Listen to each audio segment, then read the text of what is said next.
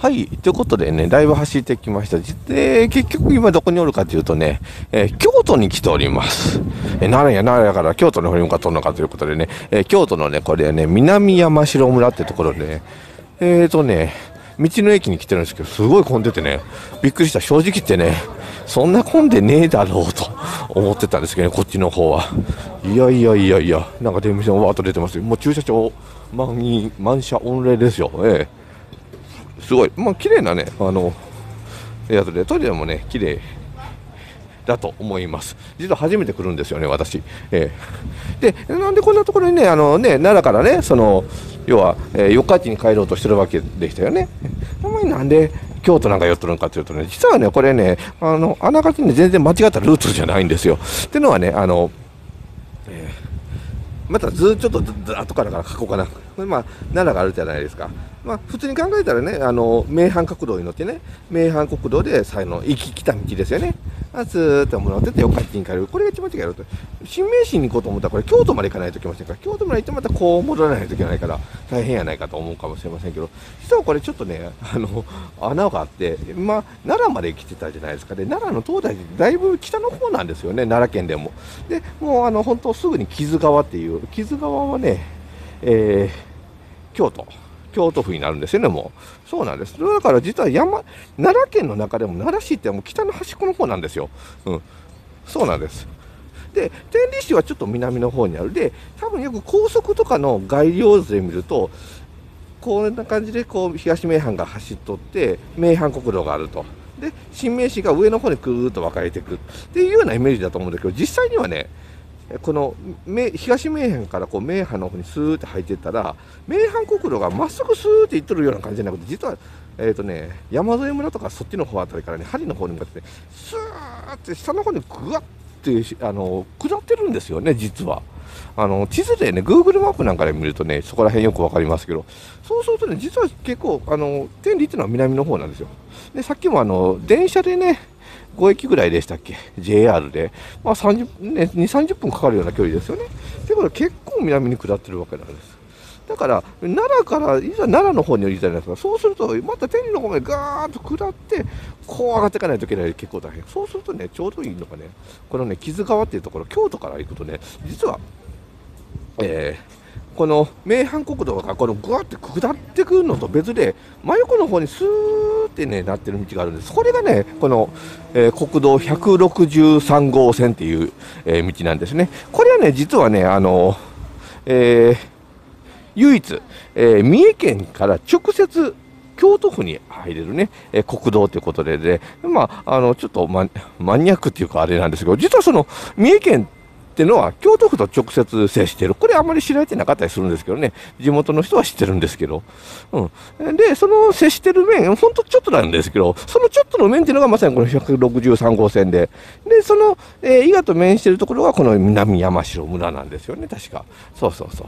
ということでね、それでね、こっちの方が、まあ、こうするとね、結構、今ね、バイパスも出来上がっとったんでね、実は、あの、行きにちょっと見つけまして、あ、もうバイパスが出来上がっとるわと。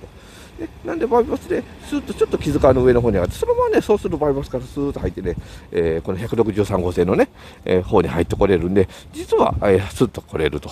意外とね、あの、名阪国道帰りね、天理の方からね、行こうと思うと、あの、針のね、あの、ね、来るときもガーッと曲がってきまして、あそこね、ガーッとね、急カーブ登っておかないといけなかったりで、まあまあ大変なんですよね。そうなんです。なんでね、意外とこっちだと道中でね、えーまあ山道にはそこまで多いわけじゃないですけど、まあローソンがあったりとかしてね、えー一応ね、疲れたらちょっと休めるスポット、ここなんかもそうですよね、ありますんで、えー意外とね、こっちから行っても、時間的にはこっちの方が多分早くいいと思います。奈良のあの辺りにおったらね。えーさあじゃあちょっとなんか見てきましょう。なんかめっちゃ混んどると思って、なんか西日本で1位になったんだ。へえなんか有名なソフトがあるみたいです。すごい行列ですね。ここ相手もすごいな。へえじゃあせっかくですから、また、今日2本目の抹茶ソフトですけど、これはこれでちょっといただいた方がいいでしょう。ええすごいですね。買ってきましたけど、めっちゃ濃いな、色が。えちょっと外に出ようかな。ちょっとね、食べるところもぎゅうぎゅう詰めだわ。ああ、すごい。よし。ことにされますじゃあいただきましょうかなんか黒蜜もかかシロップもかかってるんですね。すごいな。めちゃくちゃ混んでるな。でどうなんやろ。なんか大阪の方から来てる人が多いのかな。聞いてると大阪の言葉がですね京都というよりはねあもうそこで撮ってるんだ。ちょっといただきましょう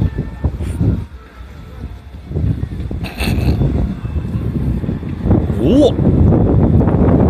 これはこれは濃いすごい濃い。うわ。お。あ。これは濃厚で、まあ、さっき食べたのがミックスっていうのもありますけど、まあ、色がねなんか抹茶そのままちょっと軽く水に溶かしましたみたいな色ですよね。抹茶の放水容量を超えてる気がしますよこれは。うん。うん濃い。ちなみにね値段はね410円とかでまあまあねいい値段なんですけどね。だからこれはねああすごいわ。本当にあ本当にねなんか他のやつが抹茶風味のソフトだというならこれは本当に抹茶にソフトクリーム足したかのようなね。うわうん。これはすごい。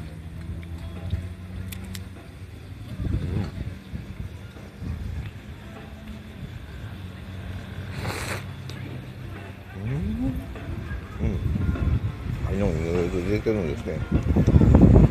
リサイクルでやってるんですね。え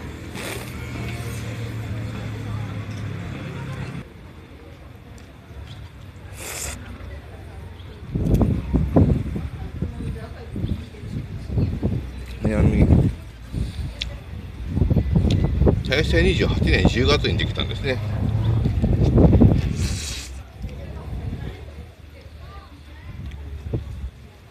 しいのは新しいんですけどそれにさて駐車場広いんですけどね。こんな感じでずら当たって。あ。ちょっとね多分これ南山城村の中でもちょっと外れの方にはなってるはずなんですよ。本当はもうちょっとずっと先行ったところに、えーま、村役場とかがあったりする集落があるはずなんですけどね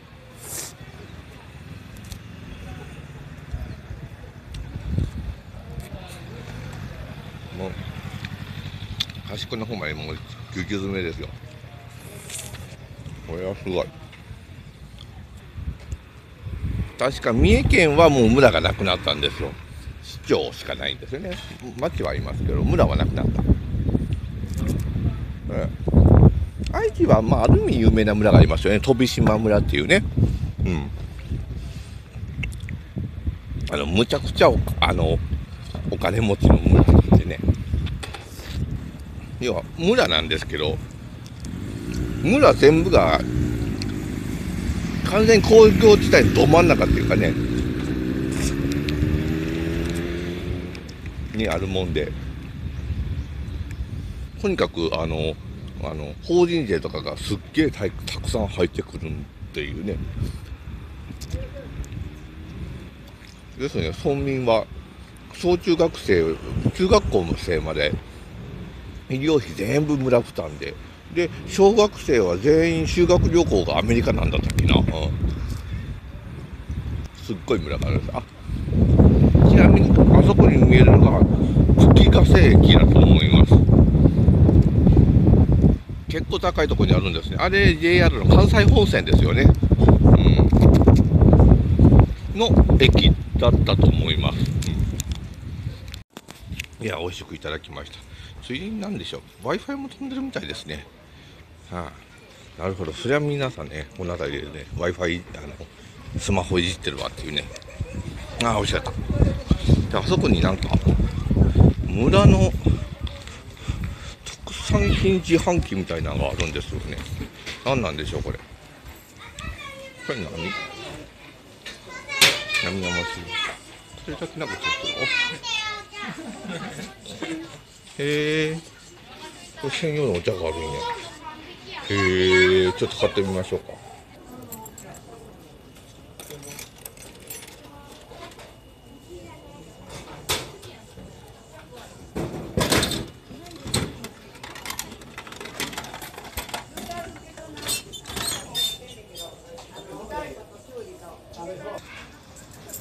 バスも来てるんだ。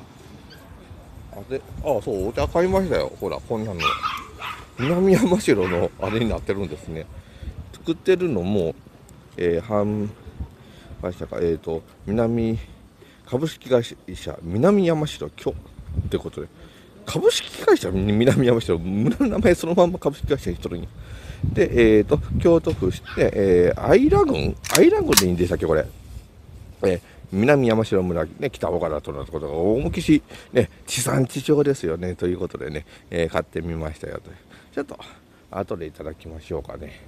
飲んでる際、まあ、これのサイズやったら飲みきれるか。今、口の中、思いっきり抹茶味になってますからね。今の、の、のまあ、いいか。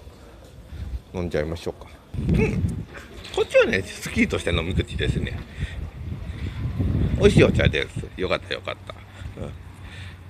まあ、地元のお茶を使ってるんですよね。もうそこでね、お茶買いましたよって。まあ、もう今の時期、今7月、まあもうこの時期でしたら2番茶も借り終わって、この後もう一回素張りしてって感じですかね。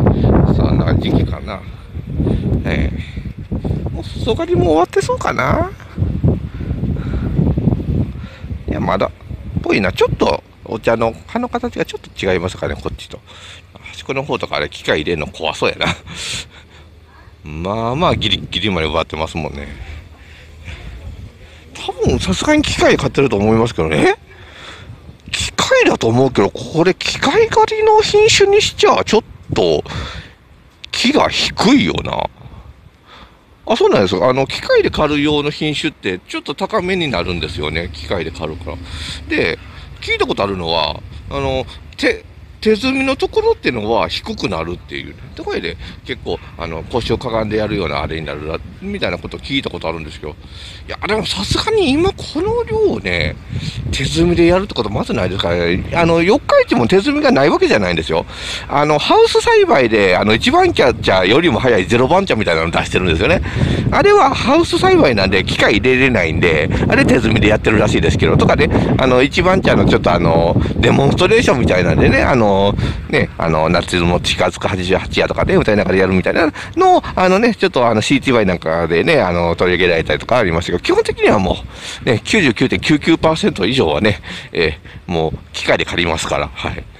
出ないと、あの、追いつかないです。えー、すごい量来ますからね、えーですから私もね、よく、あの、茶摘みしてましたよって言いますけど、実際には住んでないんですよね。あの、どちらかというと、あの、三重の場合はこれをね、この上にね、ネットをバーっとかぶせるんですよね。かぶせ茶っていうのを作りますんでね、こっちはかぶせないのかな？かぶせない代わりには、あ、いや、でも、上にネットみたいなのはあるけど、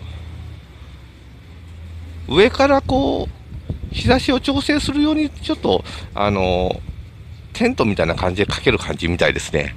ですから、あのよ、ね、よかちの場合は完全にお茶っ葉にかぶせるんですよね、ネットを。それでね、あの、日の当たりを調節して、それであの、柔らかな味にするっていうんでね、えー、逆に全くそういうのしないのがやめの方ですよね。